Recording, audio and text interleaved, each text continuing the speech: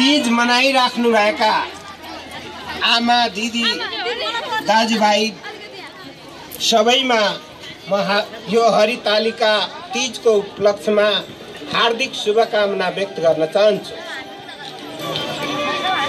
नेपालीहरूको महान चाड हरितालिका यो तिज। आज मैले हरेक बाटोघाटो हरेक ठाउँमा देखिए देखिरहेको छु। रातो पहिरनमा आमा दिदी बहिनीहरू सजिएर खुसियालीको साथ आज तिज मनाइराख्नु भएको छ।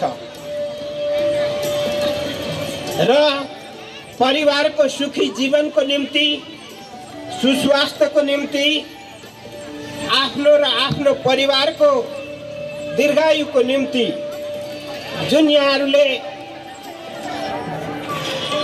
कति कति दिदीबहिनीहरू त पानी पनि नखाइकन चाहिँ आज उपवास पनि बस्नु भएको छ।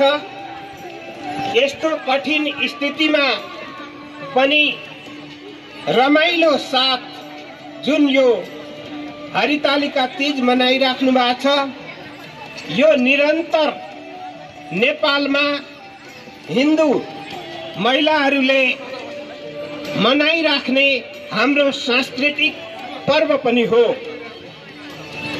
कहिले कतैबाट उठ्छ कहीँ हाम्रो संस्कृतिमाथि त कसैले आक्रमण गरेको छैन। कहिले कसैलाई आशंका लाग्छ कि हामीले हिन्दू भएर बाँच्न पाउँदैनौँ कि भनेर आशंका पनि लाग्ने गर्छ। कसैलाई लाग्न सक्छ कि हामी दमनमा पर्यौँ चपेटामा पर्यौँ कि भनेर लाग्न सक्छ। म यहाँ गौरवको साथ भन्न चाहन्छु म पनि हिन्दू हुँ र मेरो परिवार सहित म आएको छु। रमाइलो गर्न तपाईँहरूसँग तिज मनाउन आएको छु। म नाच्न जान्दिनँ तैपनि म परिवारसँग तपाईँहरूसँग रमाएरै जे जाने छु त्यति नै भए पनि नाच्ने मौका पाए म खुसी छु। मलाई विश्वास छ आफ्नो स्वास्थ्यलाई ख्याल गरिकन किन भन्दाखेरि कहिलेकाहीँ म देख्ने गरेका छु सुन्ने गरेका छु कि नाच्दा नाच्दै पानी पनि म खान्न भनेर मूर्छित भएको दिन पनि म कतिपय दिदीबहिनीहरूलाई देखेको छु। त्यस कारणले स्वास्थ्यलाई ख्याल गर्दै हरितालिका यो तिज खुसियालीको साथ मनाउनुहोस्। सबैले मनाइरहेका छन् र यो हरेक वर्ष मनाउने कुरामा कुनै दुविधा छैन।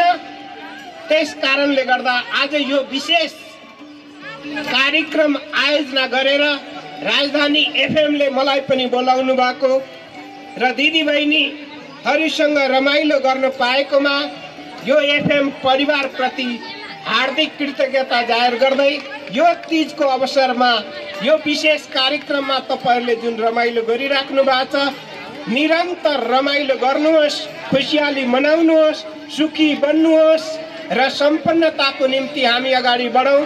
दीर्घ दीर्घायुको निम्ति हामी आफ्नो ठाउँबाट जुन सङ्कल्प लिनुभएको छ त्यो सङ्कल्प पुरा गर गर्नुहोस्।